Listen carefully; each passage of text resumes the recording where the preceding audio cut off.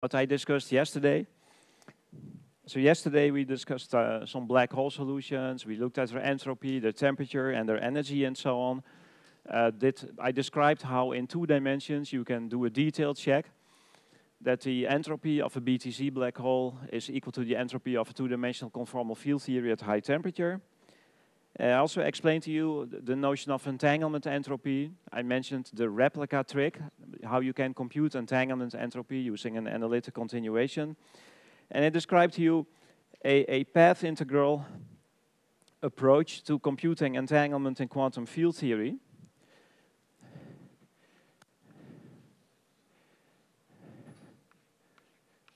So I drew this picture where say for a scalar field we chose some boundary condition here.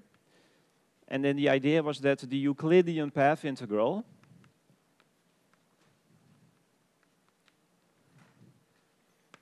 over this bottom half, it does prepare the ground state.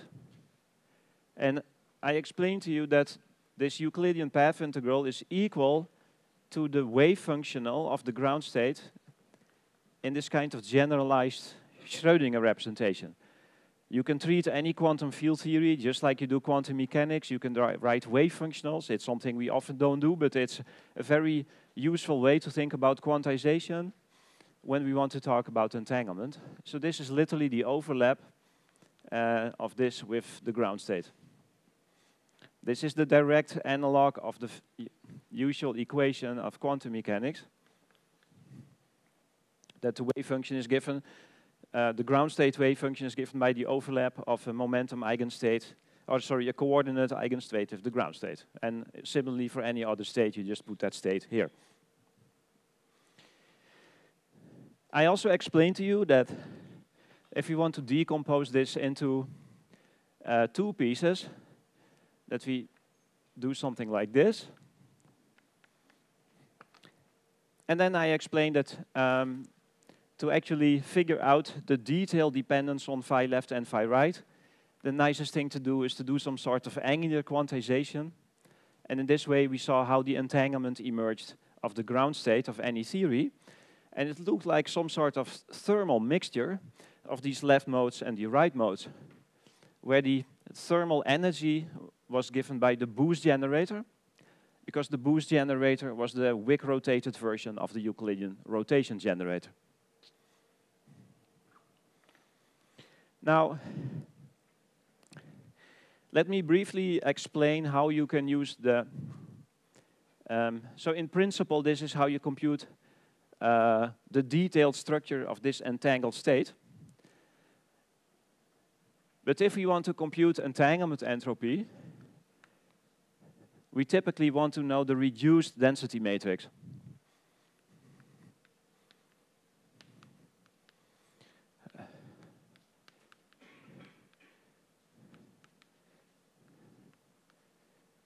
Right? And this was uh, what I called the replica trick yesterday. One nice way to compute entanglement entropy is to take your reduced density matrix, take n powers of it, take a log, and take this limit. So of course I agree that the background is entangled, but if it was not entangled, what would go wrong in everything you said. Everything would still go through, right? If you have a state which is not entangled, yeah, yeah, so very good. So if you, if, if you take a state here that is not entangled, um, then what happens is that you, uh, if you compute the Minkowski stress tensor expectation value in such a state, so suppose we simply do something like this. Some unentangled state between left and right. This is very different from the ground state because the ground state is very entangled. If you compute the stress tensor of the theory in such a this non-entangled state, uh, you will find that the stress tensor is badly divergent on the light cone. So it's almost like you create some sort of null energy shock if you do anything like this. So the price you pay for destroying the entanglement is to create a large energy wave here. It's, it's, um, but you don't have to do something so dramatic to get a large energy here. It's even true that if you take this entangled state and you act with a single Rindler creation operator, so suppose you quantize this uh, using Rindler variables, Then there is Rindler creation operators. These are different from the usual annihilation and creation operators in flat space because we use Rindler time as opposed to ordinary time. So Rindler time is given by these boost lines. You use Rindler time to define the frequency. And even if you act with a single Rindler creation operator, you already find the divergence stress tensor here. So this is a cartoon version of the firewall. It tells you that this uh, structure of the, the entanglement structure of the ground state is very special. If you, if you perturb it too much, you will get uh, a divergent stress tensor here. And this is the reason why if you don't fine-tune the entanglement somewhat, you get firewalls. That's the Rindler version of that uh, statement. Mm -hmm. Thank you. Yeah, this is a purely field theoretic exactly, state. yeah, yeah. Right. So, so I have no reason why to think about firewalls or things like those. If I pass an observer, do I see that mu nu, uh, that uh, shock wave? Yeah, there is. Yeah, it's just uh, that expectation value diverges. It's a quantum field theory statement, and so you can see that with suitable correlators that there is like this large expectation value for the energy. It's no back reaction or anything. It's just a field theory, but you do see this divergence stress tensor. So in, in that case, the firewall is there. The firewall is. is yeah, there is an actual yeah. firewall here. Yeah, yeah. All right. All right. Yeah.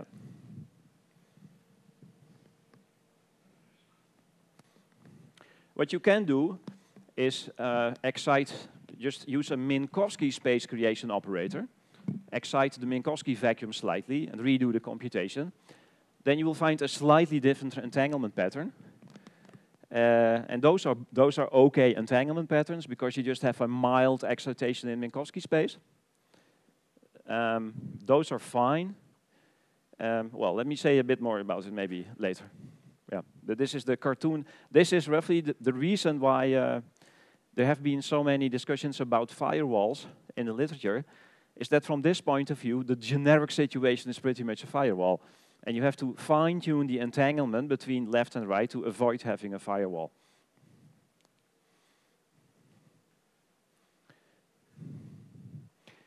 Uh, so let's go back to this equation. Now, suppose we want to do something slightly different. We don't want to, uh, we, we, we take a similar situation as I drew. So we have a line. But let's now take an interval.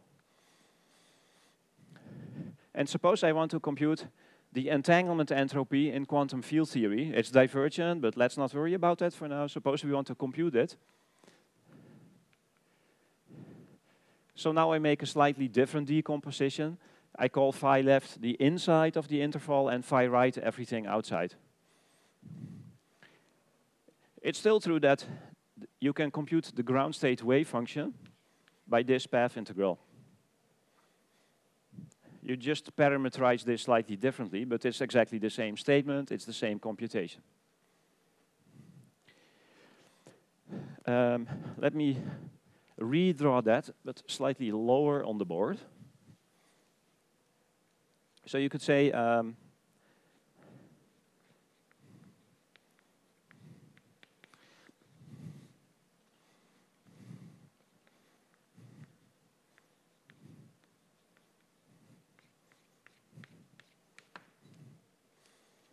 So a Euclidean path integral over the bottom half of the plane with these boundary conditions gives us this overlap. I can repeat this computation once more. I can flip it around, and I can also compute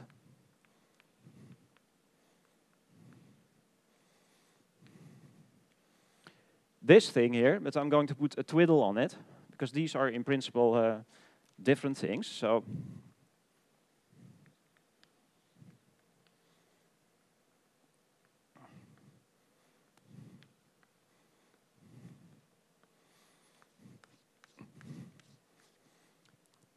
So if I compute this and that, I do this computation to compute this inner product, and I do this computation to compute that inner product. It's the same computation, I just flipped it around.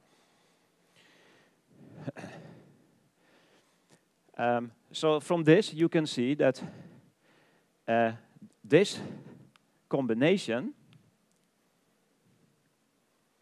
this is clearly equal uh, to a sum over phi left, phi right, phi left, twiddle phi right twiddle, that's a complete set of states, of uh, phi left, phi right. Uh, let me write like this.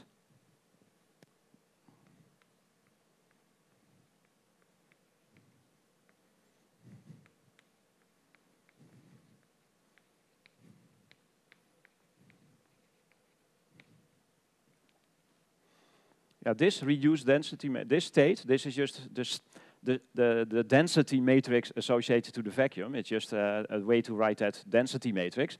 This is a very boring density matrix. It's just rho 0 times 0.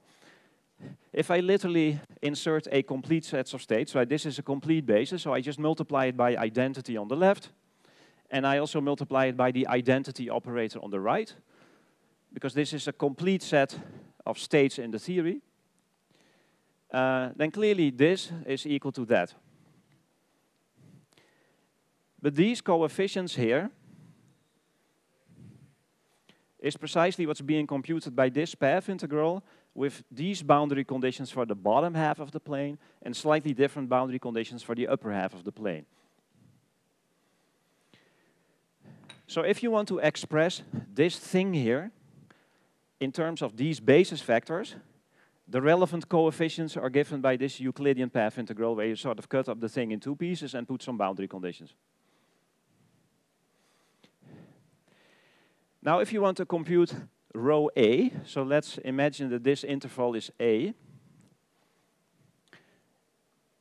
If you want to compute rho A, how do you do that? So suppose we, uh, let me write the explicit expression.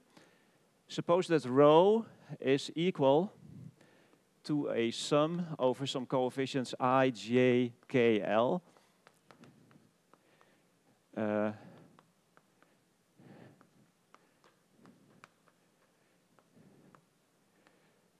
uh, BL. Suppose that in general we have some state in an AB system, and you want to compute the reduced density matrix using the uh, definition I used uh, I wrote down yesterday. But what you really have to do is you have to trace out the B system.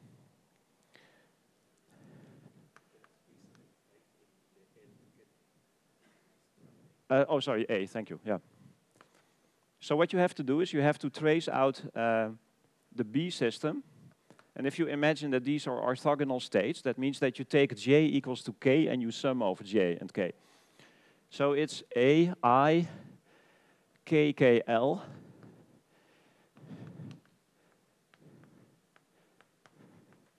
Right, this is how you uh, take the reduced density matrix. You put the B indices equal and you trace over it. If you remember in my definition uh, that I wrote for this reduced density matrix, I demanded that all operators of this type in the full state have the same expectation value as this density matrix. This one here is literally what implements this trace, because you multiply by the identity operator and you take the trace. So this is what you do if you want to go from a state to its reduced density matrix. Let's now apply that to this situation here, and because I want to find the reduced density matrix of the A system.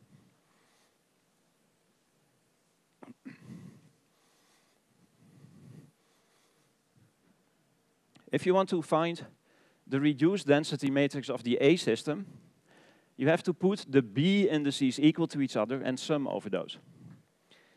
Well, what are the B indices here? That's these things here. So what you need to do is you have to put these things equal to each other. I remove the twiddle. And you have to sum over those. But this is a Dirichlet boundary condition. But this is now the same Dirichlet boundary condition, so you can glue these two spaces together. And if you then also sum over phi, it means that effectively there's no boundary condition left here anymore. Right? There was a Dirichlet boundary condition here that says that it has a particular value. If you come from the other side, it has the same value, so the field is now continuous here, but it has a particular value. But now you sum over all these values, which means there's a free boundary condition here. So what happened is that this is gone, and that you have identified these endpoints, and there's nothing here anymore to do, do because the path integral here will automatically do the sum for you. Right? It's a sum over all possible values of the field. And similarly on the other side, if you sum over everything, you also close up the thing like that. So the reduced density matrix, rho A,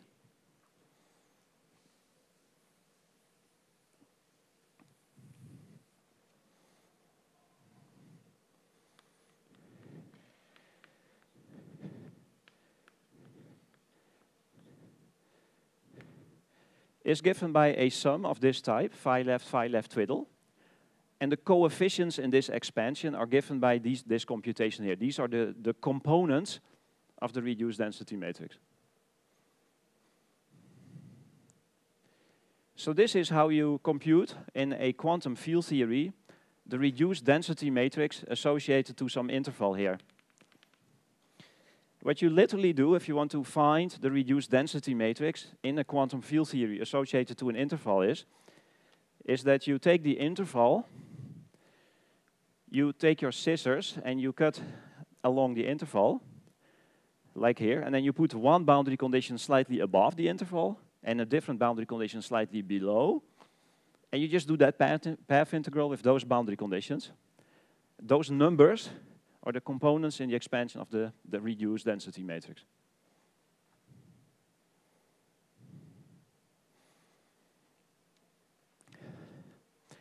And now we can see how you're supposed to compute trace rho A to some power. Let me illustrate briefly how you compute trace rho A to the power 3. So we have to have three copies of this computation. Um, so we have phi a, phi a tilde. Then we have a second computation that has, in principle, other boundary conditions, uh, double twiddle, triple wiggle, and then there's one similar computation.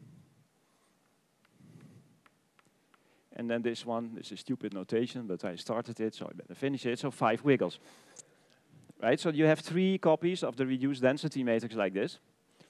Uh, and now we need to glue them together and take the trace. Now, the trace, it means that you take rho A, I, J, rho A, J, K, and then rho A, K, I, right? That is the trace of the cube of a matrix. So you see you have to uh, identify one index of that rho with that in next index of the next one, and that one with that one, and that one with that one. These indices here are given by these computations. These were the matrix elements of the reduced density matrix.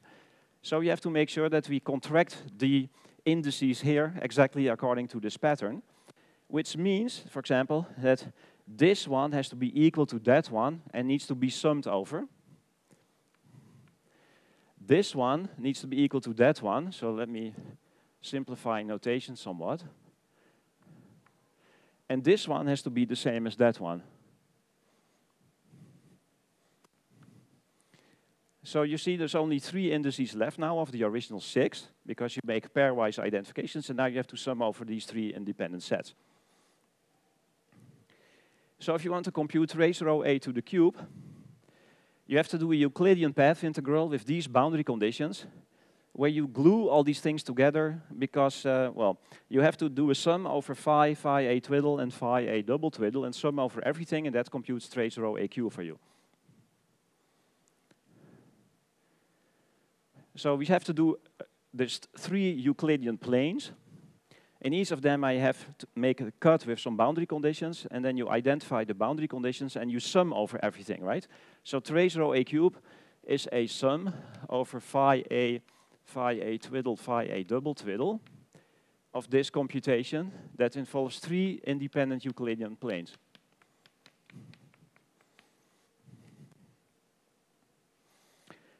But you know, if you have a Dirichlet boundary condition here and a Dirichlet boundary condition here, that means that uh, you can glue these spaces together because it's the same value of the field, and you sum over all values of the field. So this entire thing gets glued together in a single manifold, the replica manifold. So because of these identifications, you secretly identify all these things together. So what does that single manifold look like? Um,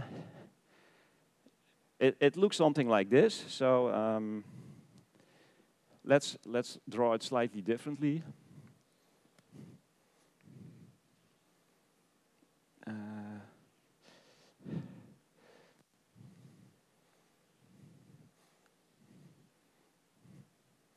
So this goes on, it opens up, this becomes a two-dimensional plane.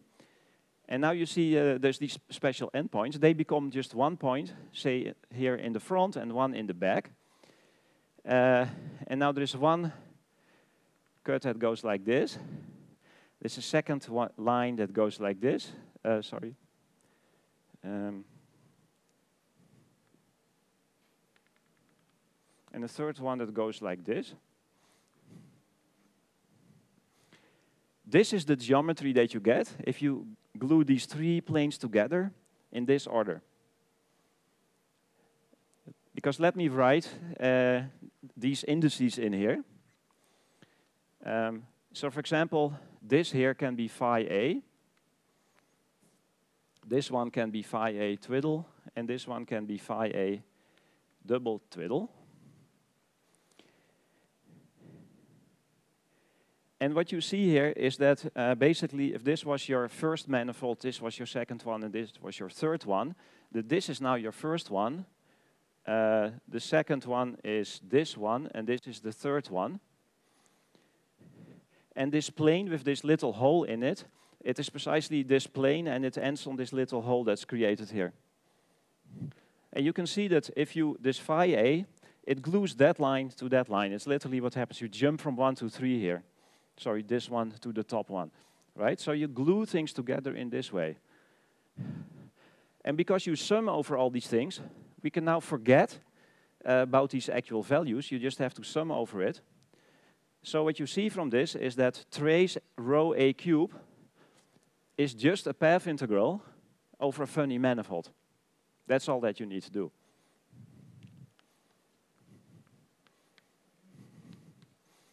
You need to compute the path integral on this manifold.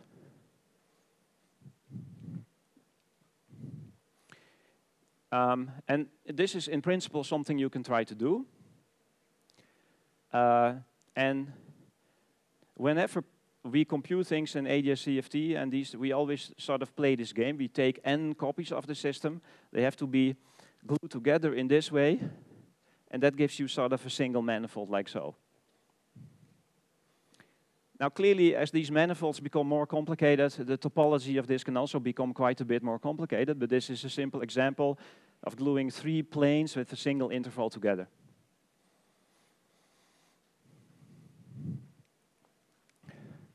This, by the way, it's, it's a singular manifold for the following reason.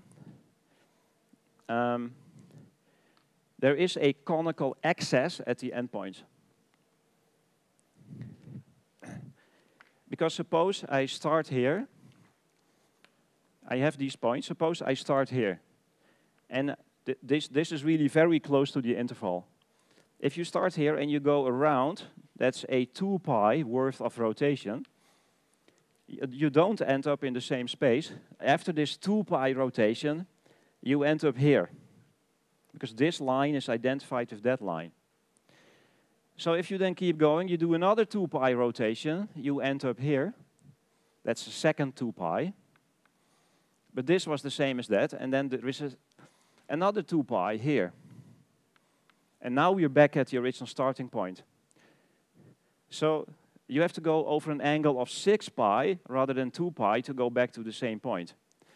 That's okay. Uh, that means that locally the, the geometry looks like this. But phi is periodic with 6 pi rather than 2 pi. Uh, so if this periodicity is less than 2 pi, we call it uh, a conical singularity. But if it's more than 2 pi, there's like a conical excess. It's a bit hard to draw, because I can draw cones easily, but sort of going the other way is a bit difficult. But mathematically, clearly, there's no problem having a conical excess. There's also a curvature singularity associated to conical defects. So there is a, a curvature which is something like 4 pi n minus 1 times a delta function at, uh, at this endpoint.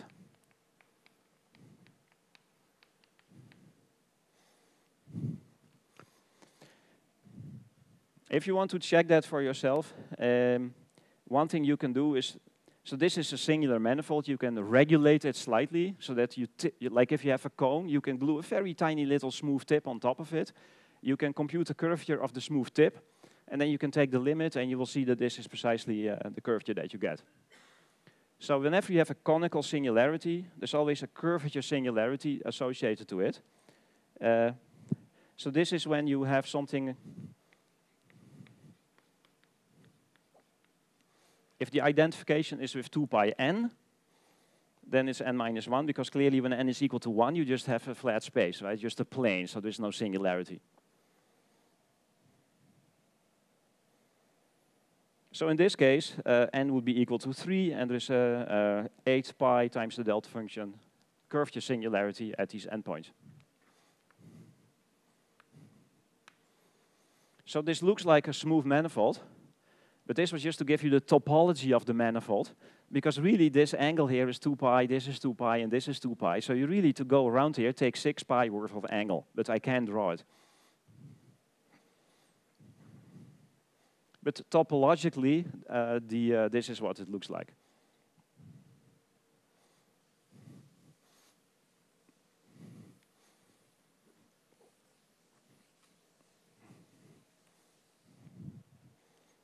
Now, to actually compute this in practice is, is difficult because you have to do some weird Euclidean path integral over some manifold of singularities. For this particular case, if you're in a 2D CFT, I'll just briefly sketch what you do. Uh, if the endpoints are u and v, we can write the following map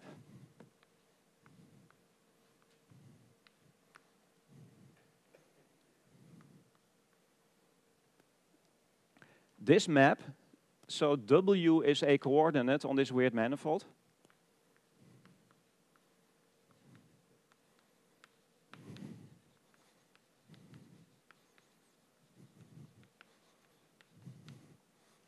Uh, and, and z is a better coordinate on that manifold. So this w, so w, sorry, I'm saying it wrong. W is a coordinate um, on each of these original manifolds.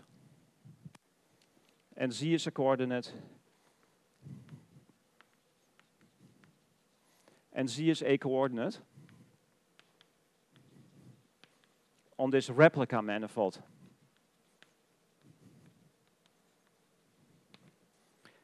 And this works because you can see that uh, W, uh, there's this weird fractional power here, but that's important because W, if you go around U, right, you have to go from one sheet to the next sheet to the next sheet to the next sheet.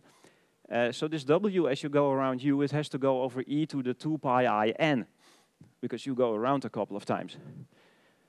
That makes this W coordinate, it's like a multi-valued coordinate because it's a coordinate on the first one and on the second one and on the third one. So it's, it's multiple valued, but you get rid of those multiple values if you take 1 over n. So in two dimensions, uh, and this is just a conformal transformation. So in two dimensions, we can map, using a conformal transformation, we can map this annoying manifold to the plane with a simple conformal transformation. And because of that, you can now compute the partition function of the weird manifold because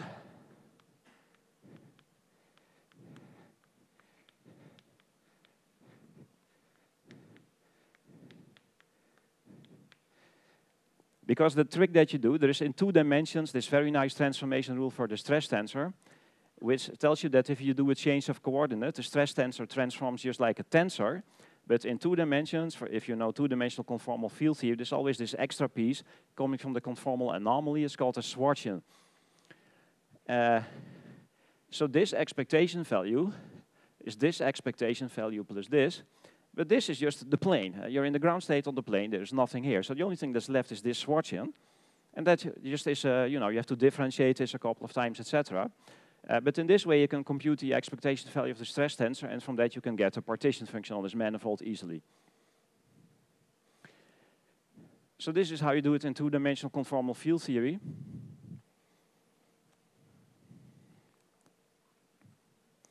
Um, and if you work it out using the Schwarzian and so on, you find that trace rho to the n is proportional to v minus u, and there's some coefficient in front, times minus c n minus 1 over n divided by 6. So that just comes out. Uh, you can look this up in many places. It's a fairly straightforward computation. And then now you can take the trace and the uh, sorry the log and send n to 1, and you find um, the usual answer, C over 3 times log uh, u minus v divided by some cutoff that you also have to choose here for dimensional reasons. But I don't want to, you know, explain this in detail. It was just pointing out that, yes?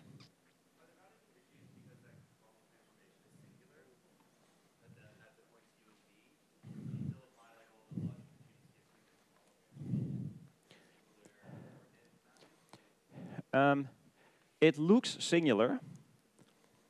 It's a bit peculiar, it's, but it's not too bad. You can do these types. Of, the, the, the point is um, that this W is multi-valued. So it really is a one-to-one -one mapping secretly. But that has to do with the fact that we have these multi-sheeted copies to begin with.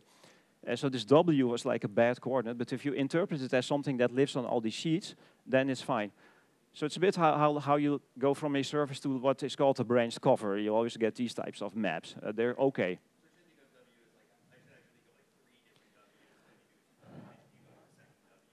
Exactly, and that's why uh, this is a proper map from all these sheets to a single one. Yeah, that's right. That kind of deals with that singularity. Otherwise, it would just be a weird singularity and wouldn't make sense. You're absolutely right. Now, it's key that it has this multi-sheeted behavior.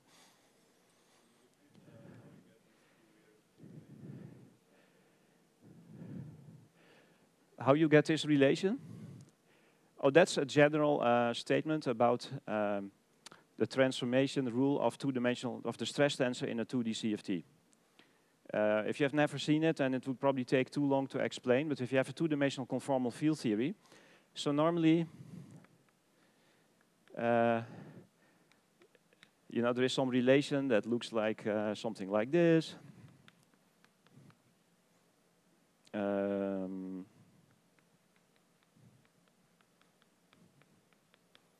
right? That's the usual transformation rule of a spin 2 tensor.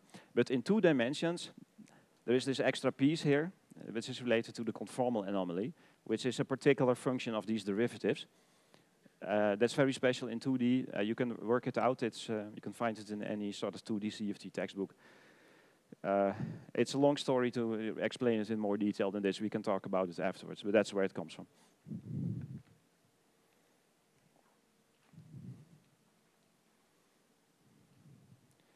Um, so this is, but this is a special case. Uh, and again, you see that in two dimensions, conformal symmetry is very powerful and it allows you to compute many things that you cannot compute in higher dimensions. Because in general, we don't know how to compute this in the field theory. It's a very difficult computation. We just do not know.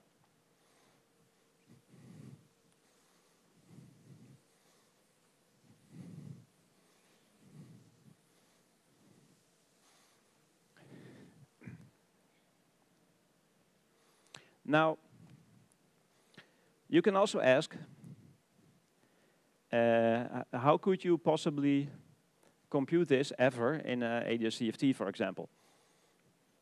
So suppose that we do AdS/CFT.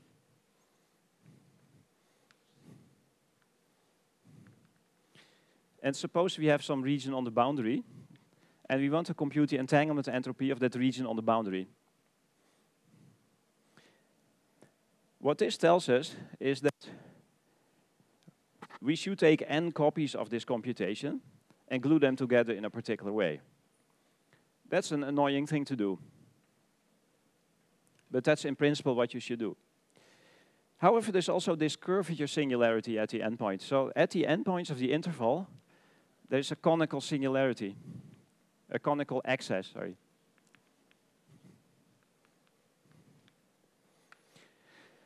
So AdS/CFT, if we wanted to compute uh, trace rho to the power n, then AdS/CFT tells us, since it's a weird computation on some Euclidean manifold, AdS/CFT tells us, fine, you just take this Euclidean manifold, just take this Euclidean manifold and compute uh, some ADS solution that has this boundary and compute the partition function. This is a weird manifold, but you can do it, you can choose the boundary in AdS/CFT to be whatever you like.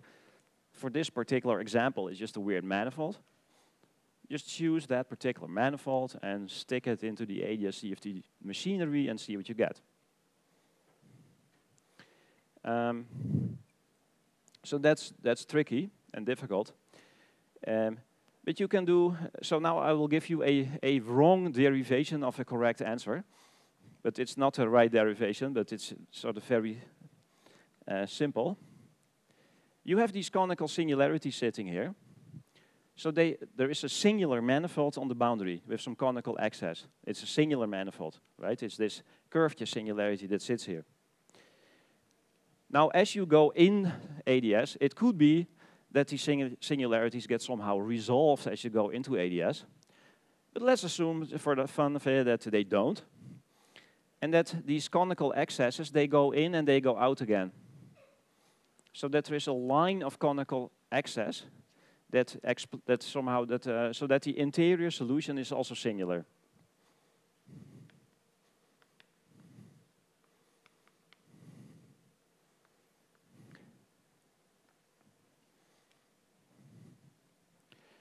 Um, because at, at, the end of the day, this boundary geometry is just n copies of the original geometry. Um, so it's exactly, locally it looks exactly the same.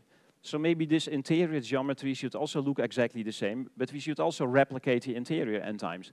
And maybe all that we need to do is to have n copies of the boundary glued together, but also n copies of the interior glued together in a similar fashion. Maybe that's simply the solution. That would be a simple solution to the problem.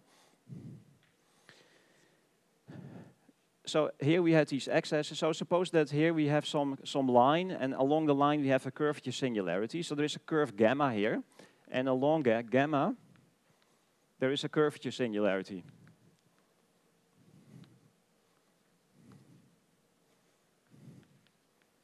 And that that curvature singularity is precisely given by that thing over there.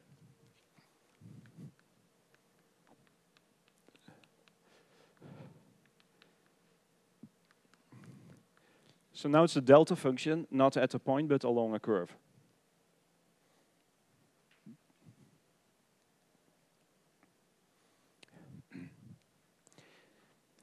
Now, how, how uh, if we compute the action in, in the bulk, we also get a contribution from the Einstein-Hilbert action because now there's a singularity going to the bulk, right?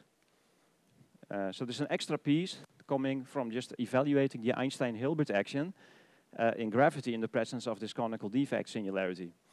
In field theory, we don't have that. There is no Einstein-Hilbert action in field theory, but in gravity, we have Einstein-Hilbert. It, it, contains the curvature. So how does this contribute to the curvature? Well, it's all a bit heuristic. In this case, this I'll stick to the three-dimensional picture, but it goes on. It, it, you can generalize it to higher dimensions easily. Uh, if you insert this, what this becomes, uh, so this has this uh, curvature singularity in it. So this delta function reduces the three-dimensional integral to an integral along the curve gamma. It's a delta function that's located at gamma. Then this r has disappeared. The only thing that's left is minus g along the curve. And then there's some 4 pi and minus 1. But this here is nothing but the length of the curve It's the induced metric on the curve. So this is the length of the curve times 4 pi n minus 1.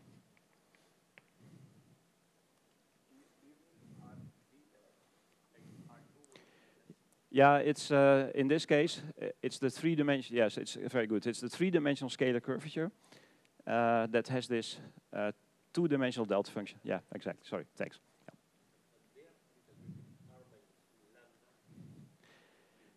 Yeah. yeah, but lambda but lambda does not see the singularity, right? Uh, because the only place where the singularity does something non-trivial is in the curvature. Like in the metric itself, it's just measure zero where you do something. So you have to look at the curvature to see something non-trivial. So now you get this contribution. Um, now if you work out, um, so this is for n copies. And you see you get something with a 4 pi n minus 1 and an L gamma. Now, we wanted to compute the entanglement entropy as being 1 over as the limit of n going to 1.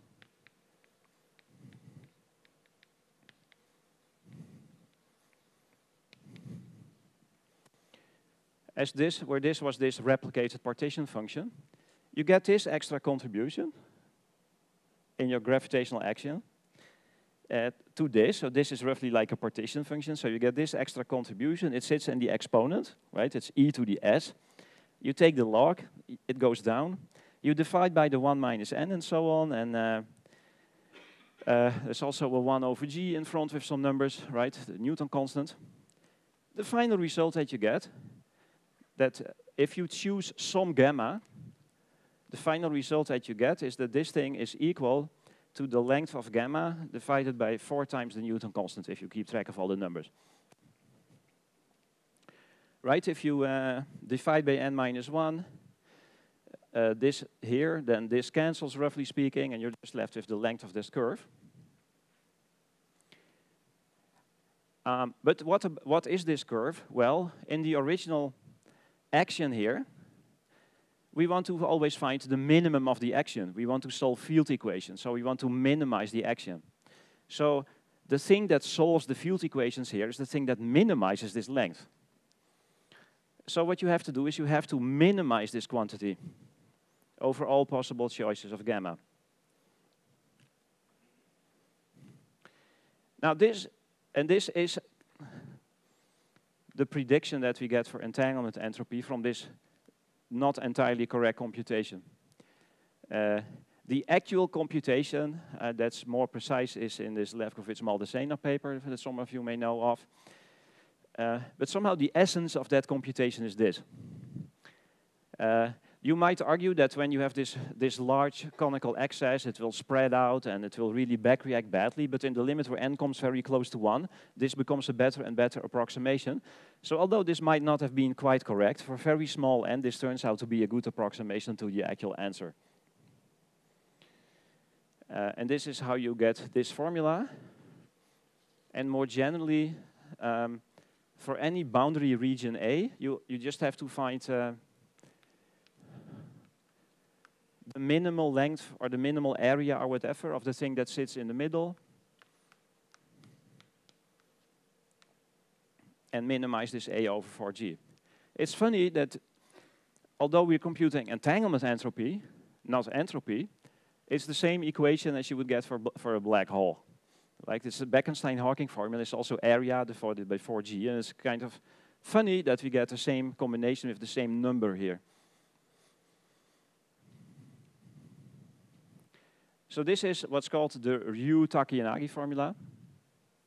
Um, so it's a very nice formula because it's extremely simple. You, it, it's a geometrical formula. So if you want to compute entanglement entropy of some region in a very, very complicated, strongly coupled CFT, it is absolutely impossible to do it in the CFT directly. But if you have a holographic dual description, the only thing that you need to do is solve a little volume minimization problem and you're done. So this is a very remarkable result.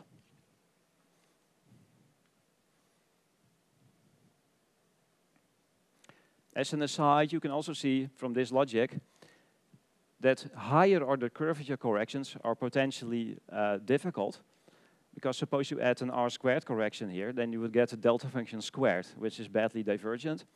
Uh, so you can already see that, that this computation will be problematic this is already wrong, but it will be more wrong if you have higher order R corrections, because then you get uh, double singularities, and then you have to uh, do other things.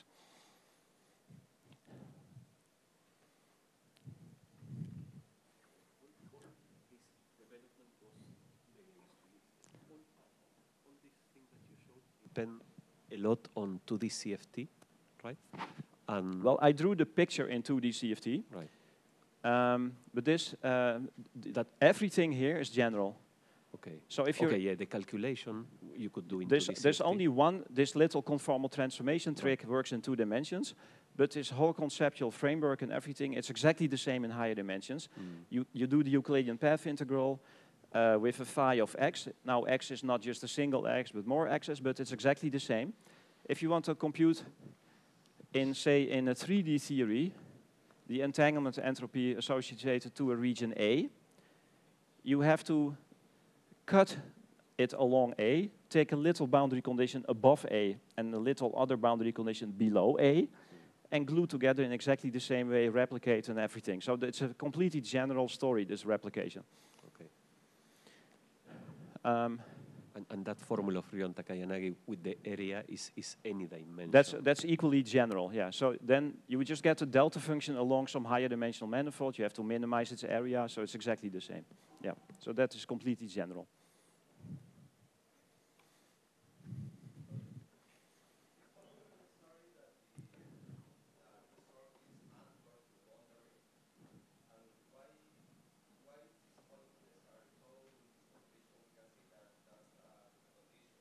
That it has to be anchored to the boundary. Well, in this picture, um, we had this conical excess singularity sitting here, and we just proposed that the bulk solution has also has singularities that continuously connect to these singularities. Because you, you need, you need, you have this singularity here, it needs to be connected to something in the bulk. And the proposal here was that it's connected in the bulk to a singularity, so it's connected here. So the reason why it's anchored to the bulk it's anchored to the place where the singularity was to begin with. And the singularity is always on the boundary of this region. This is where these, like if you just look at this picture, the singularities are always at on the boundary of the region A. Uh, and that's why uh, this surface that sits here has to be anchored to the boundary of the region from this heuristic point of view.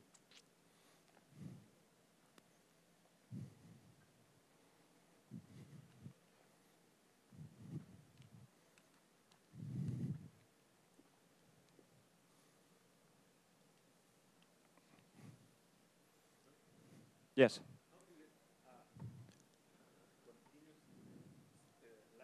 singularity.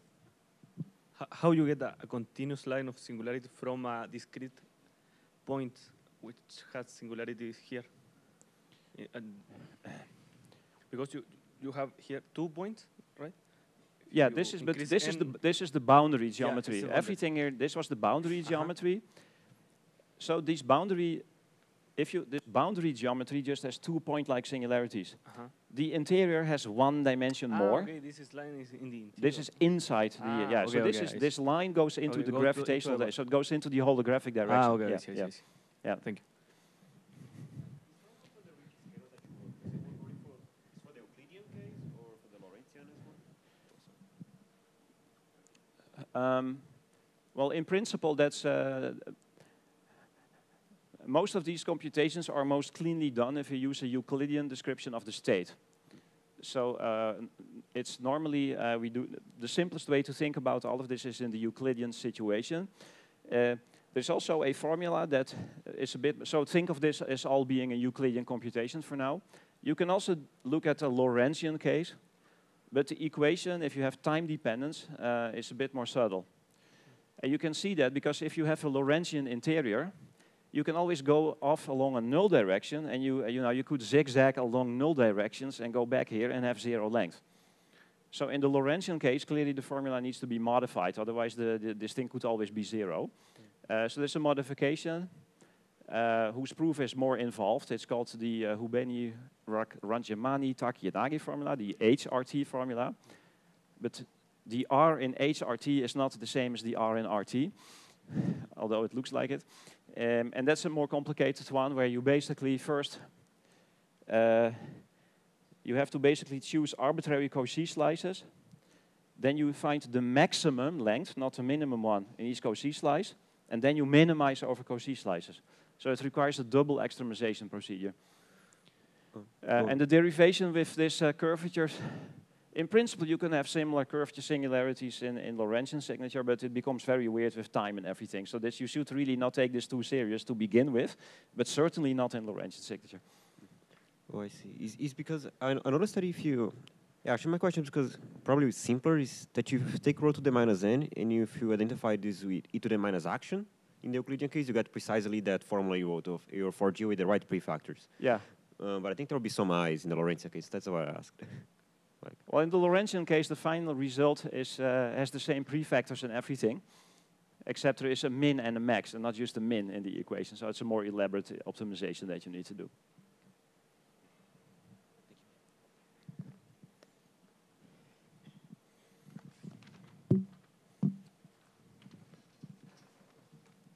Just one second. So now, now you can basically forget about uh, you know where it came from and just uh, play with formula as it stands. It's a super simple formula. If you just as a general uh, uh, advice, uh, it's great to come up with formulas like this because you can apply these formulas in any in any given circumstance. So you you will find quite a number of papers on the arXiv that that do some computations, and then there is a section seven it's called entanglement entropy, and then they compute this. It's not entirely clear from the point of view of sections 1 through 6 why you should compute this or why it's interesting, but why is it there? It's because you can compute it. So it's, it's, it's a computational driven paragraph. And uh, that's super nice to, uh, yeah, so, so, uh, so what you have to do in life is to find those types of equations.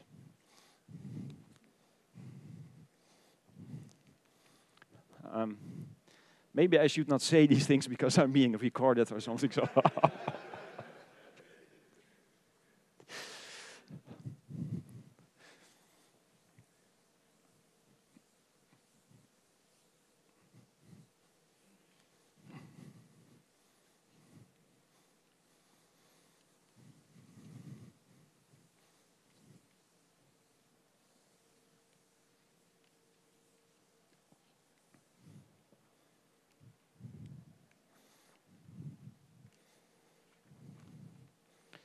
Um,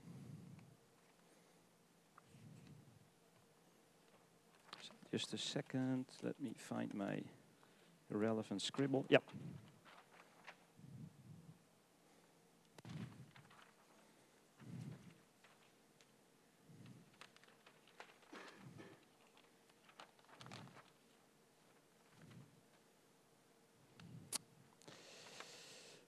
Organization. Good. Now we can use entanglement entropy as uh, to learn a few simple things. Uh, one little exercise you can, for example, do, uh, you can do many things, but that's not the main point. Suppose you have a black hole sitting in the middle. And suppose we want to compute the entanglement entropy of an interval on the boundary. So this is now an uh, ADS space. There is a black hole in the middle. This is a constant time slice. There's a black hole in the middle, and I'm going to compute the entanglement entropy uh, changing the interval somewhat. So you just have to find the length of this curve. Now you can increase this point, and then you get another curve. And you can go around. There's this annoying black hole sitting in the middle, so yeah, you have to go around this black hole. Now, as you keep going, uh, at some point, say when you're here, something interesting happens.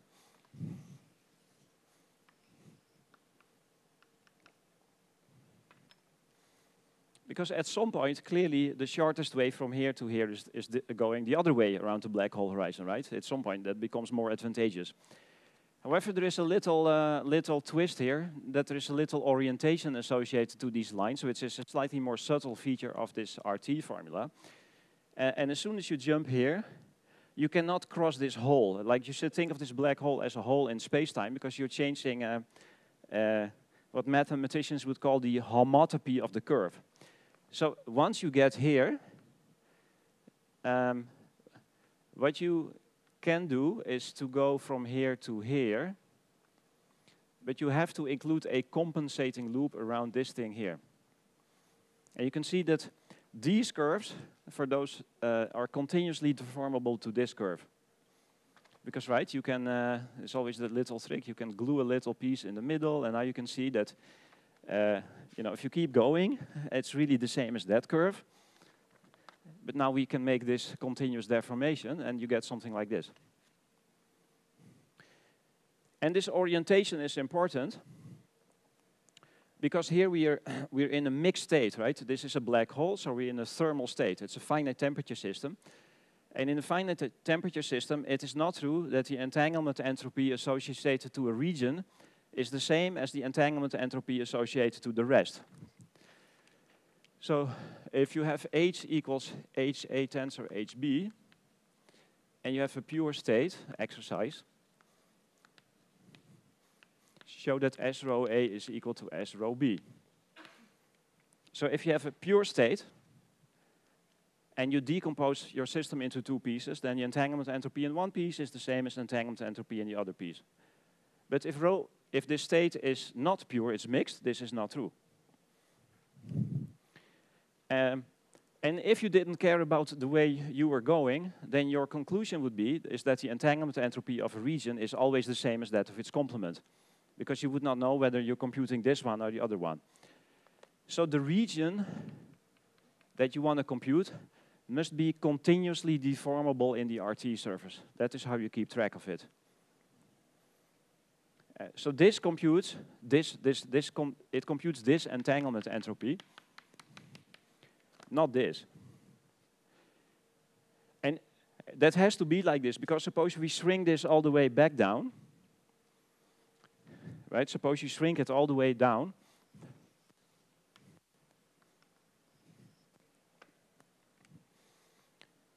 You have like, like this tiny little loop that is basically about to disappear. So now we're computing the entanglement entropy of all of this. But this loop always remains.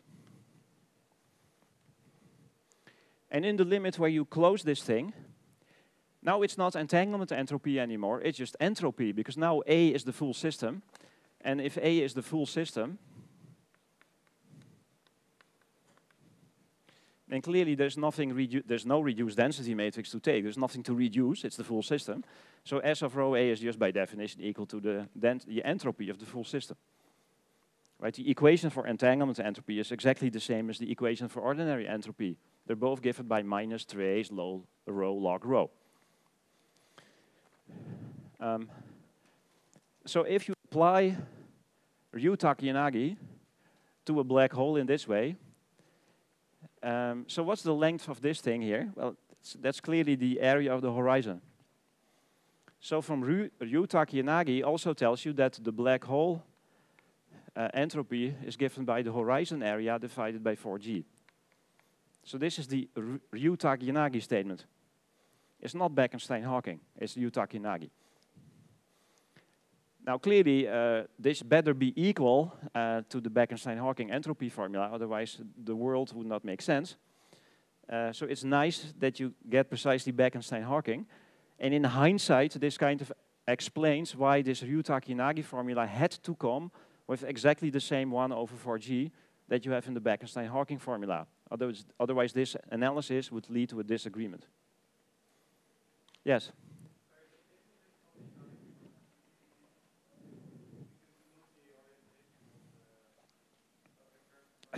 Yeah, here I could use orientation. The right thing to say is that the RT surface should be homotopic, in other words, continuously deformable to the region whose entanglement entropy you want to compute. So if you're in higher dimensions, you go all the way around. You have to find a surface, a higher dimensional surface that is homotopic to your boundary. So suppose your boundary is a two-sphere, and you want to compute all of it then you need to find a surface in the, in the interior that is homotopic to the boundary. Uh, and that is precisely the two-sphere that sits around the horizon, because that you can continuously deform all the way to the boundary. So it's not really orientation per se, maybe uh, uh, that is important. It's really the fact that it's homotopic or continuously deformable, which is the more general statement here. Yes?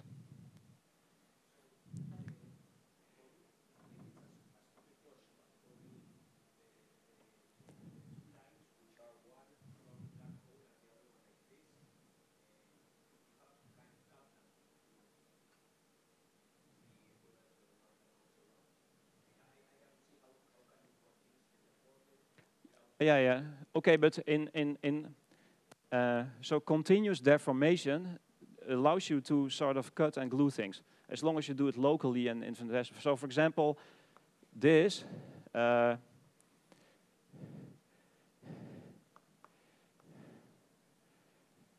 from this point of view, can be continuously deformed to that because you sort of merge these lines together uh, into this. So that's the, these are continuous deformations. Um, it, it, it becomes mostly interesting if you have a hole in space-time. Because if you have a hole in space-time, any loop around it has a given winding number. And you cannot continuously change a loop with winding number 1 in a loop with winding number minus 1. So, so but all, the, all these other things typically can be okay deformed into each other. Uh, so it's only kind of relevant if you have things like black holes sitting there that create non-trivial topology, create a hole, and you have things like winding numbers or wrapping numbers and so on, then, it, then it's mostly important.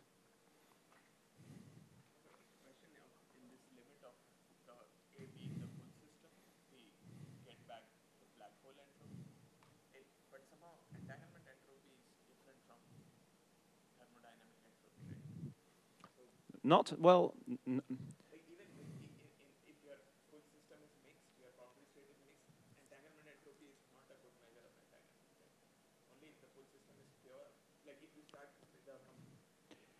Yeah, yeah, yeah. Well, it uh, it is true that entangle that for a full system, entanglement entropy is the same as thermodynamic entropy. That is true. However, what it tells you is that entanglement entropy is not the best possible measure for entanglement.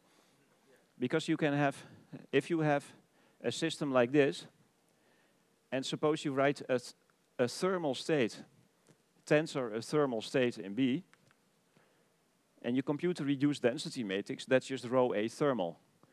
That has a lot of entropy. However, clearly there's no entanglement between A and B whatsoever. That's why uh, there are better measures of entanglement. So there's, for example, this thing called mutual information, which uh, is slightly better because then you compute the entropy of the uh, of A plus SB minus SAB. And this combination is basically getting rid of the intrinsic thermal entropy in the A and B system. So this is a better kind of measure for the actual entanglement between A and B. But there is no perfect definition of entanglement.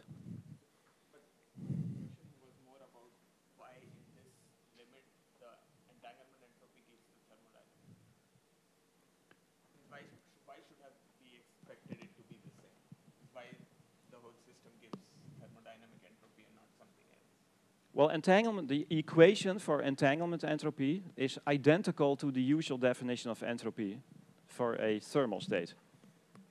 If I give you, right, if, if you define rho equals e to the minus beta h divided by the partition function, right, the density matrix, and you compute minus trace rho log rho, it is equal to the entropy of this theory at, yeah, that, that's a statement, right? Yeah. This is really the entropy, yeah. Now this is just the entropy, uh, yeah, yeah, yeah.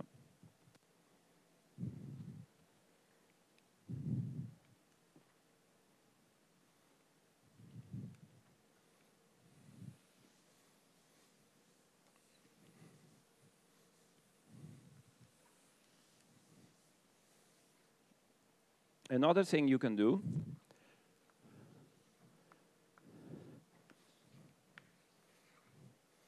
is that suppose you want to, to make a black hole. Well, one way to make a black hole is to take a shell of matter and to throw that in.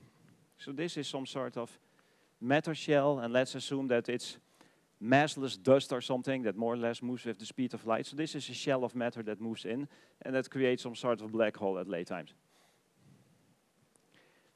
This is a, um, a black hole creation process. Um, now the geometry outside this shell is exactly the same as the Schwarzschild geometry, right? It's the same as the statement that the geometry outside the Earth is exactly the same as the geometry outside a Schwarzschild black hole with the same mass of the Earth. They just start to become different once you cross the surface of the Earth. But if you have a spherically symmetric mass, like here, the, the outside uh, metric does not diagnose whether there was a black hole or something else.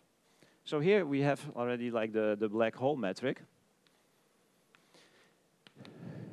So if you take a constant time slice slightly later, you can now see something interesting happening. So let's just look at this constant time slice. If I plot it, this slice from above, we have this matter shell that's falling in. Now, if you compute the entanglement entropy for a subsystem in this case, uh, so this is some subsystem, and you make it larger and larger, at some point, the minimal length thing goes through the shell. This is not a black hole, so there's no actual hole here, so you can just let the thing go through the shell, right? We just have to find the shortest distance. Now, here the, here the geometry is, the, is just a black hole geometry. So this entanglement entropy here is equal to the thermal entropy of the black hole. So from the point of view of this system, it looks like you're already in a thermal state. You have to go, you have to explore entanglement on long length scales in order to detect the fact that you did not already form a black hole. At short distances, things look like a black hole. So that's that's funny. This is some that, uh, this is, this process where we collapse a shell. We call it sometimes thermalization, because we start with a state which is clearly not a thermal state. It's just a shell of matter. Then we let it fall in, and the endpoint is a thermal state. It's a black hole that is dual to a CFT at finite temperature. So this is a system that thermalizes. Most systems in nature thermalize if you let them sit long enough somewhere. Same is true here, but here the thermalization goes very fast. Moreover, the thermalization happens first at short distances, because initially, already at short distances, you can no longer see that you did not have a black hole. So thermalization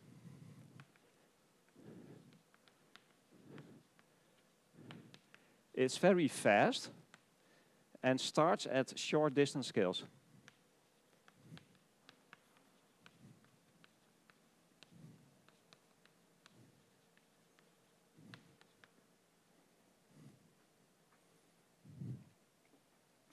So this is kind of a general statement that any strongly coupled theory that has a holographic dual should have.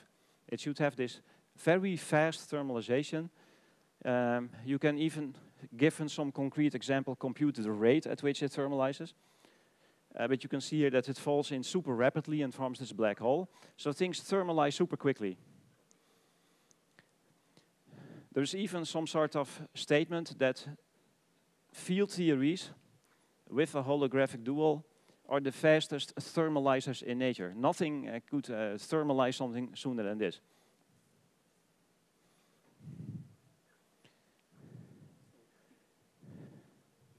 If I go, as you explained there, uh, to larger distances, to lower energies, at some point I see the stop of the thermalization, right? Yeah. Is, isn't this like the opposite intuitive idea of what thermalize means? So I should look at long distances. Yeah, it's, it's, it's slightly counterintuitive. Hmm. For example, if you look, um, uh, you can do a perturbative QCD computation. You can ask how in QCD things perturbatively thermalize, and it is exactly the other way around. In QCD, if you uh, excite a system, what first happens is that you emit a lot of soft, soft radiation, soft gluons. That those are low energy objects, so they're long distance features, and those will then gradually start to populate higher and higher energy. So it is precisely in the other direction than you might have thought from weak coupled QCD. So it's kind of surprising. It's, for example, in the quark gluon plasma, still, I think, an open question whether it goes literally in this way or not.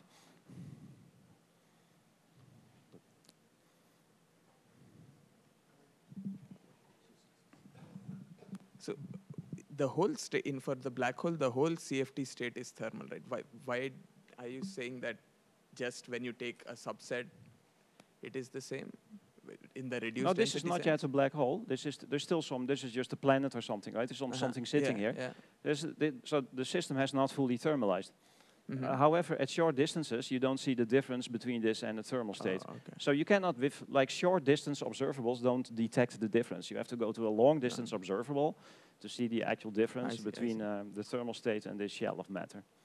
So, but the in, uh, when you take fix a short interval, you're already taking the reduced density matrix, right?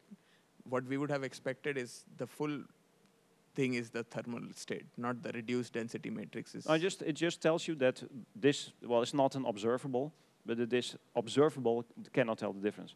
okay, okay. I yeah, mean, yeah. But even if you would compute a two-point function here, and you compute like a correlation function using the Green's function, it will see a little bit of that, but very little, because most of that Green's function comes from this region near the boundary, and uh, so it almost sees almost nothing from the shell.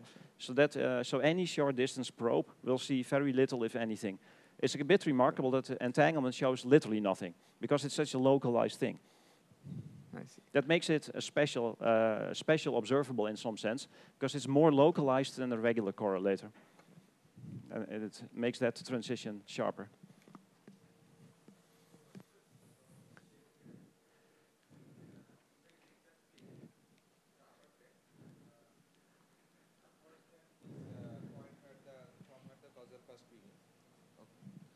So basically, I um want to know that this cell, what is the job of this cell in this calculation? I mean, what it would affect this calculation? Because if What I is the, what's the interpretation in, uh, in the field theory? yes, Well, in the field theory, um, what happens is that you take uh, like a very special initial state yes, uh, with some, say, constant energy density, but you just say, uh, prepare a very special initial state right, that um, a perfectly a perfectly homogeneous constant energy density something. So you could start with a perfect lattice Hmm. of point particles, like a regular lattice. So it's not, and then you let the system go, for example. Then they will start to move and uh, and so on, something like that. yes. So basically, if we take this uh, plane on where your shell is, so uh, upwards then this uh, point where the light cone ends. Yes. Here. upwards than that, if I choose a disk and compute there, then how this cal- uh, how this result differs from the shell calculation? That's my question. Oh, well, w- once you're here, you're in this black hole situation because now you just have a black hole, so all the computations are the same as in the black hole. So an important difference is um, one slightly confusing thing here that, that requires more work to explain the principle if you ask about the entropy of the full system. Right. Because you started off in a pure state, Hmm. uh, so here the entropy of the full system is zero, Hmm. right? Uh, just nothing to do. Right. But at some point, uh, that can no longer be the case and it should be thermal. Hmm. Um, that's an interesting transition that you need to study if you want to see that. But at, at, um, in some sense, Ryu-Takayanagi can sort of still know that you can go through it this way, and in that Mhm. way detect that it was a pure state to begin with, Okay. right? Mhm. So this Ryu-Takayanagi formula, i it's, uh, it's, a, it's a funny formula because it's, you don't compute the exact microscopic entropy. Okay. There is some coarse graining involved, like in most definitions of entropy, but it's quite subtle to mm-hmm. define exactly what coarse graining goes into it. Oh, I see.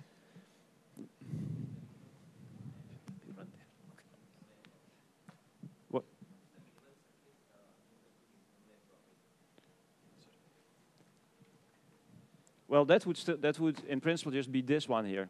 That would be the thermal entropy. Yeah, yeah, yeah. If you want, or you just use the usual Bekenstein-Hawking uh, and you apply to the black hole horizon, yeah, that is also. Uh, there are many uh, surfaces you have drawn uh, in that picture. Like one uh, which is anchored on the boundary, and there is one which goes around the cell. Well, once this becomes a black hole, then you no longer can go through it. Okay. i- naively. So then, uh, well, we have to be a bit careful, and maybe this is digressing a bit too much, but because this is a time-dependent situation and Lorentzian signature. So what we should really be using is not this HRT formula. This is a bit naive. You should use this HRT formula, which is relevant in time-dependent Lorentzian backgrounds. Uh, and then the surfaces need not lie in a single constant time slice. So, so here you can go below and so on, and that makes the, that makes the whole discussion a bit more subtle. Yeah. Ah. But in principle, um, you can do those computations. Um, but yeah, at very late times, uh, if you wanted to, to, see this thermal entropy, it would just be the length of that. But that is, it's the same as Bekenstein-Hawking from Ah. that point of view. Okay, thank you.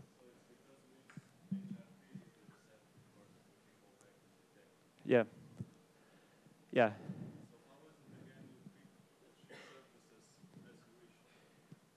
So HRT, if I remember correctly, is the statement that uh,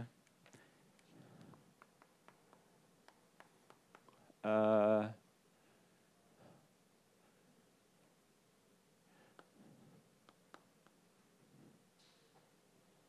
is the min so, it's the minimum over all Cauchy surfaces. So these are all Cauchy surfaces of the maximum um,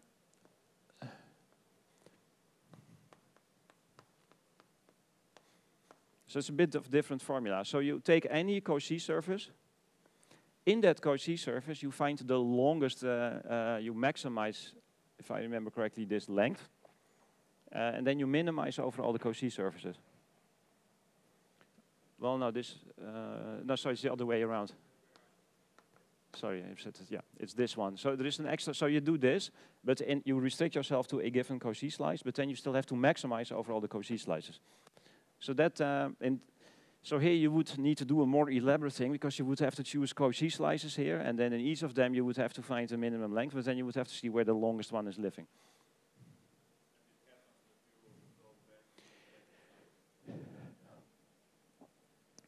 That's right, because there is a there is a bonus of going back. Uh, to some extent, but once you're in the, uh, you cannot go in the past. Once this is in the past light cone, you no longer can do that, because you can only go in a Cauchy slice, so you cannot go faster back than the speed of light. So there is a point where you can do it anymore. But so there's some sort of intermediate regime where you can sort of uh, see that you have this pure state, and then there's a transition to the thermal state.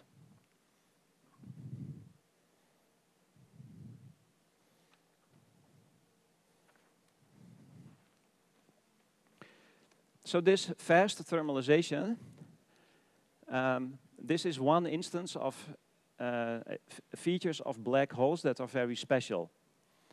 Um, a, gener a generic quantum system does not thermalize so fast. So black holes are very special quantum systems.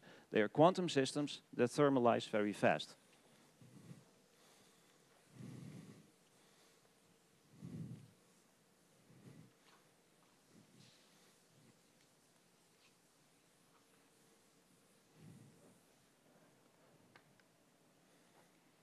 Question.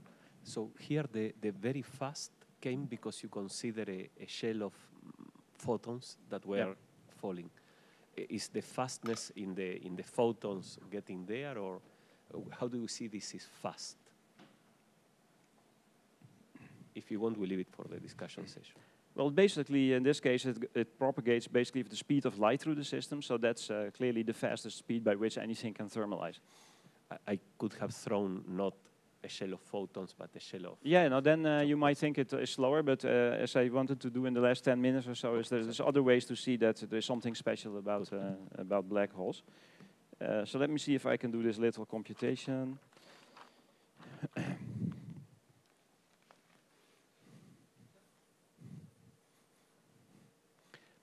So a nice computation that you can do um, is, is the following computation. Suppose there is a black hole sitting somewhere. So this is the Schwarzschild radius. And let's take some other surface here. It doesn't really matter too much where you put it, say at 2 times the Schwarzschild radius. Um, now suppose that uh, you have something that goes in here, say a photon or something goes into the black hole. It crosses this line at some moment in time. Um, and here at a later time, some photon comes out. Now suppose that these two photons interacted with each other. Uh, you can ask uh, what was the interaction energy of these photons. Uh, and you can see that when this time becomes larger than a critical time, which is called the scrambling time, uh, I'll try to maybe try to compute it for a bit. Um, you can see that once t is larger than the scrambling time, then these photons here, they have a transplanckian center of mass energy, which means that they, when they interacted, if you go back into this black hole regime, their center of mass energy was larger than the Planck scale.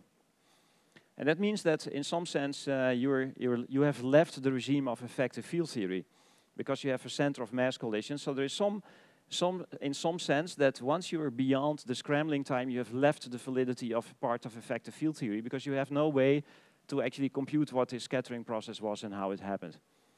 And, and this scrambling time therefore tells you that after that time, you can no longer basically reconstruct very well what you threw into the black hole, uh, because it would require uh, trans-Planckian physics if you do this naive computation. Um, and that's another, that's, that's another interesting time scale that's relatively short. Uh, so scrambling time, there's different ways to think about the right definition of scrambling time, but scrambling time is a, is a time scale, again, that's relatively short. It tells you that if you throw something into a black hole, uh, this information will get scrambled. Uh, it's just like throwing a drop of water into a bucket of water. That the drop of water will distribute over the bucket. It will scramble through the system. But if you throw, like, a, or say, a drop of ink into a bucket of water, maybe it's a better analogy, the ink will, you know, go through the system until you have a nice homogeneously colored bucket of water. It takes some time for it to go through, it diffuses through. Uh, something similar happens here. If you throw something in the black hole, it will perturb the black hole, but in record time, it will have equilibrated again for all practical purposes. And that time scale is the scrambling time.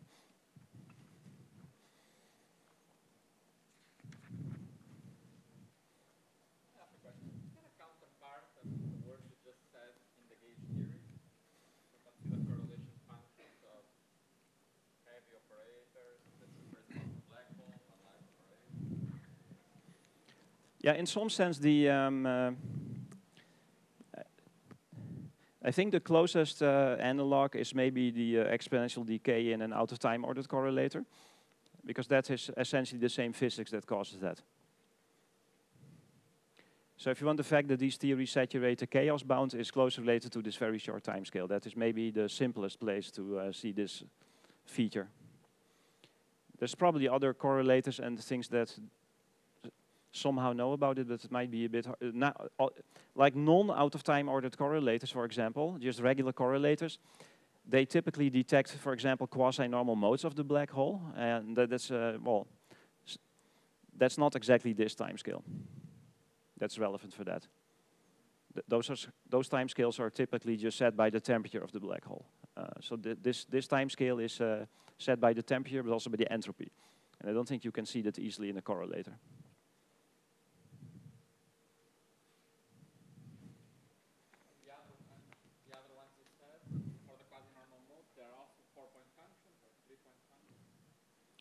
No, you can. Uh, th that's a two-point function in the thermal state, and you just read it off from the the pulse in the two-point function.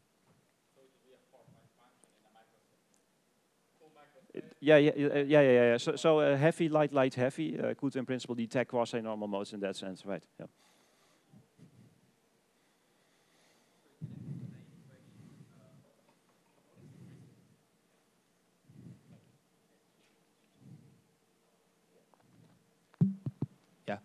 What is the precise definition of scrambling time?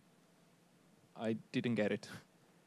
No, no. Uh, there's different ways you can, it, it's a time scale that shows up in, in several different computations that you can do. And one place where this time scale shows up is if you literally ask this question, suppose I have a low energy photon that goes in, and some, it doesn't really matter whether it's 2RS, or some, you know, uh, there's some other photon that comes out, at a coordinate time ts later. Then the question is, what is the, so they met somewhere here. What is the center of mass energy of that collision? And if that's larger than the Planck scale, uh, once that becomes of the order of the Planck scale, that in this case, that is how we define this scrambling time. That's the definition in this case. An alternative definition of scrambling time is if you uh, is the time it takes for say a photon um, that falls into the black hole uh, to reach a Planck a Planck distance from the horizon. So you just take the horizon, you go a Planck distance away from it, and you ask how long it takes for a photon to go there. That's also uh, roughly the scrambling time. So that's another place where some Planckian distance shows up.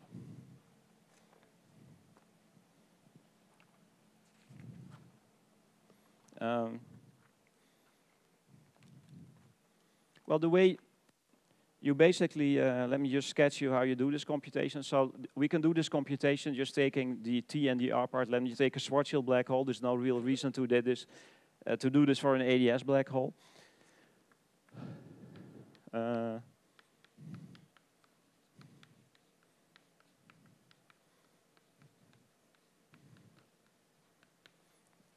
so you write the metric like this. Now, as you may have seen in many cases, it is convenient to define a slightly different coordinate, which is called r star.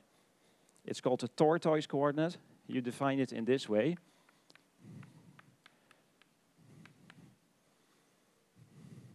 And the advantage of that is that the whole thing can now, so there's some relation between an r star with some logarithm and so on, but then the whole thing can be written as a minus, as uh, 1 minus 2m over r minus dt squared plus dr star squared. That is how you, uh, that is the motivation for this so-called tortoise coordinate. Um, and then null lines, now you can easily see what the null lines or the null geodesics in this background are. They're just equal to t equals plus or minus r star plus a constant, right? Because this is just a simple two-dimensional flat metric. So this is a very simple way to find these null lines. So then you just construct this null line through this point and this null line to this point, and then you can figure out where they met. So that's the first step in the computation. And the second thing that you need to do is to figure out what the momenta of these photons is.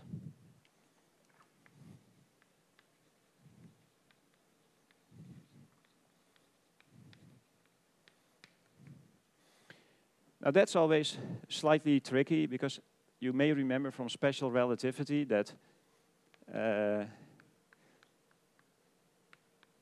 momentum is related to the derivative of coordinates with respect to proper time, right? This is your special, like this, this, I'm sure you must have had this at some point in your life. Uh, for photons, there's a similar equation,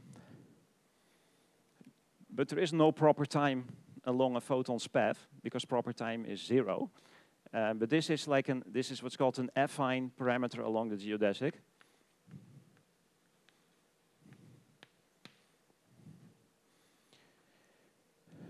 You know, this geodesic equation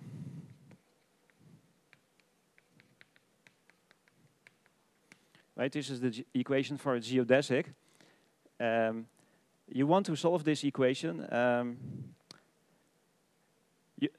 this, this, this is not a diffeomorphism invariant equation. So this equation comes with a preferred choice of variable s in this case. Um, that variable s is neither t nor r star. It, that's not the affine parameter along this curve. It's a slightly different thing. That is the affine parameter along this curve. It's namely that choice of parameter so that this solves this equation. That is how you find the affine parameter along this thing.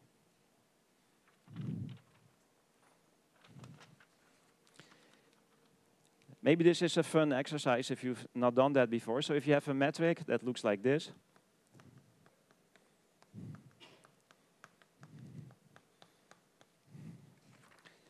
um, the, so now again, the null, null rays, or x is plus or minus t plus a constant, right? Those are the null rays. This affine parameter has this property. You can check that if you define your affine parameter by this equation, it satisfies that geodesic equation for this little background. In particular, that would mean that in this background, the momentum of a photon uh, would be proportional to, say, E minus AX, comma E minus AX. That is how the photon momentum uh, depends on X in this background.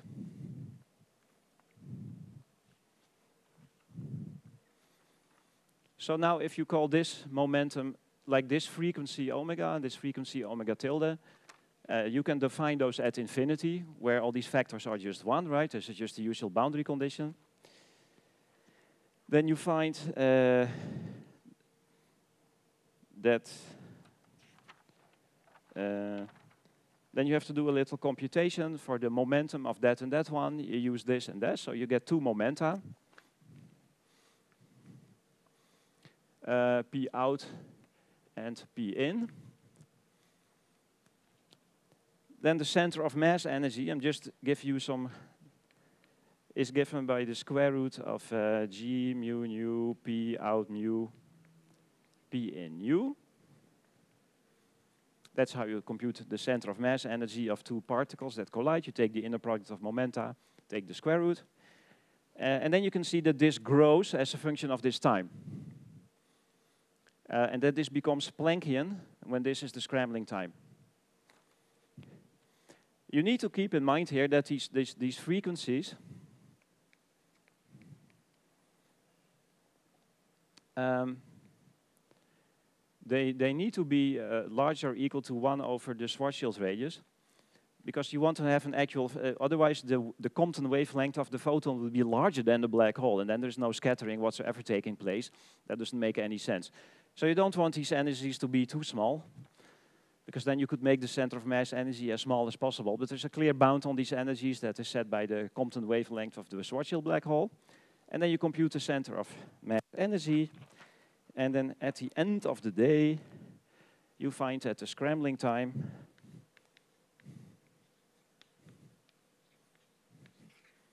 is given by this simple universal equation. Um, so we can go, if in the exercise session, in principle, uh, we could go to a few more detailed steps of this computation. It's an instructive GR computation to do once in your life. Um, about the center of mass scattering. But it's this time scale that you need to go through for this scattering to become Planckian. So this is the scrambling time. Um, what's remarkable, that's the last thing I will say, is that it's logarithmic in the entropy. That's, that's short. Because if you have a gas, suppose you have a gas in a box, suppose this is some d-dimensional box, and you ask what, how will, the, how will the, the scrambling time, how long does it take for a perturbation to distribute to the system? Um, well, that time scale will be roughly given by the size. Well, you have to go all the way through the box, so it will roughly be given by the length of the box divided by some characteristic velocity, right? Because if I perturb the system here, it will need to travel all the way through the system to sort of disappear in the full system.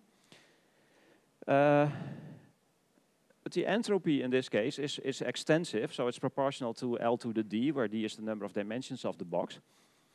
So, so for a typical gas, this would maybe go like S over 1 over D, right? It would scale with the power of the entropy.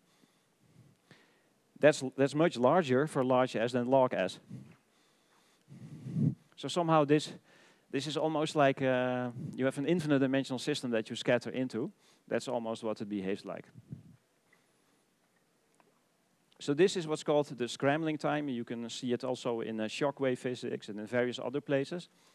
And uh, as I said, it's also the time it takes for something to get a Planckian distance from the horizon. And the qualitative picture is that if you throw something in the black hole, uh, after this time, it becomes very difficult to extract what you threw in. Like if you throw something in and you're earlier, there's some scattering taking place, you might still detect it, what you threw in. So at early times you can still figure it out, but after that time you can no longer detect what came in because the scattering would require trans-Planckian physics. So it's a, it's a funny time scale. Uh, and these two things together have to do with the fact that black holes uh, are very special, weird objects. They're fast thermalizers, they are fast scramblers, and all of this points to the fact that they're basically describing very chaotic systems. Um, and this is one of the reasons why uh, you know, the information paradox is, is, uh, is an interesting thing, because if they didn't scramble information, then it would be easy to get things out. Uh, the reason why it's so hard to get information out is because these things are so such efficient scramblers of information. and I think I'll stop there for today. Thanks.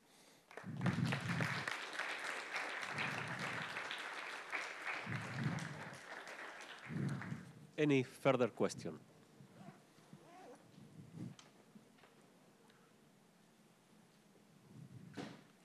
No? Okay, we keep it for the discussion session. Lunch now.